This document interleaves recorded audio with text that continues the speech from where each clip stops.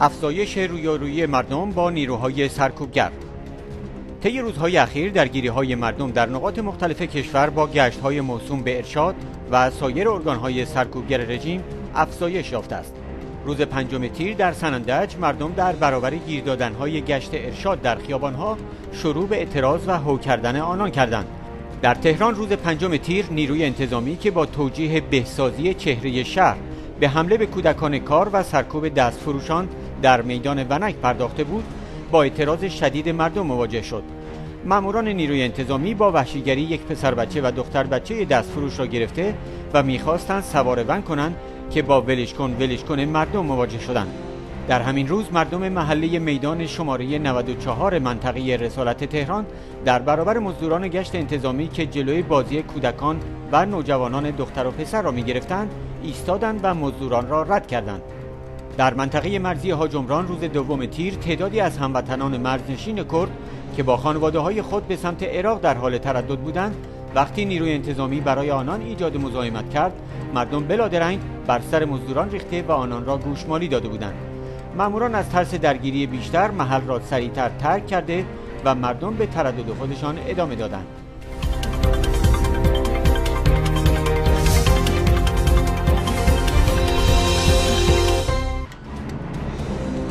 همزمان با چهارمین سالگرد شهیدان قیام سال 88 خانواده ها و همرزمان آنان با برگزاری مراسم مختلف رو در روی تهدیدات وزارت بدنام اطلاعات به شیوه های مختلف برای عزیزانشان مراسم برگزار کرده و با آنان تجدید عهد می کنند.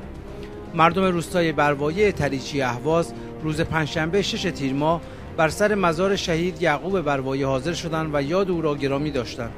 یعقوب بروایه 27 ساله در روز 30 خرداد 88 در اثر اصابت گلوله از طرف لباس شخصی ها در مقابل مسجد لولاگر تهران مجروح گردید و در بیمارستان لقمان حکیم بستری شد. او در روز هفته تیر ماه 88 نهایتا در بیمارستان به شهادت رسید. در بهشت زهرا خانواده و یاران شهید امیر یوسف زاده روز ششم تیر در قطعه 275 بر مزار او گرد آمدند و یاد و راه او را گرامی داشتند. امیر یوسف زاده دانشجوی الکترونیک دانشگاه آزاد قیام دشت بود که در اثر ضربات باتوم مزدوران امنیتی بر سر وی در تظاهرات اعتراضی روز ششم تیر 88 به شهادت رسید.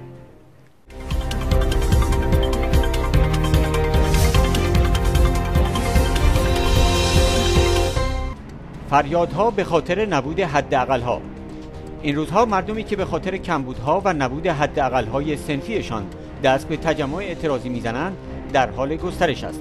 زیرا ارگانهای حکومتی ساده ترین قراردادها با مردم را زیر پا می‌گذارند. روز پنجم تیر جلوی اداره بازنشستگی تهران شمار زیادی از بازنشستگان خواهان پرداخت بیمه تکمیلی بودند.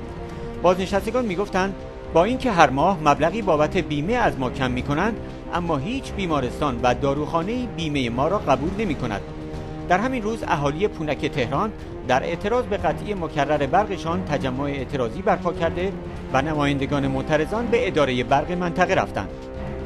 روز چهارم تیر جمعی از اهالی منطقه شاهین ویلای کرج در اعتراض به نشت آب قنات به ساختمان ها و احتمال ریزش این ساختمان ها در مقابل شهرداری شاهین ویلا تجمع اعتراضی برپا کردند.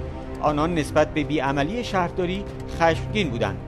در همین روز اهالی بخش های گلستان و بوستان شهرستان بهارستان و استان تهران در نسیم شهر در مقابل اداره آب این شهرستان نسبت به آهکی بودن آب شربشان تجمع اعتراضی برپا کردند. مردم می‌گفتند بارها اعتراض کردیم اما هیچ کس به حرفمان گوش نمی‌دهد. یکی از اهالی گفت آب شرب ما به قدری آهکی است که هر ماه مجبوریم آب گرم را سرویس کنیم و الا رسوبات آهک آنها را خراب می کند